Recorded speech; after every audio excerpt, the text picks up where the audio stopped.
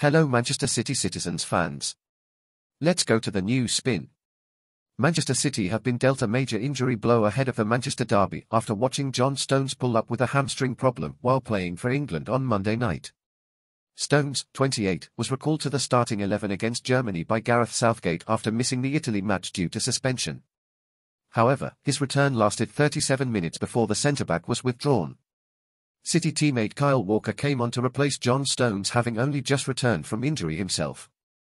In doing so, Walker earned his 70th international cap at Wembley.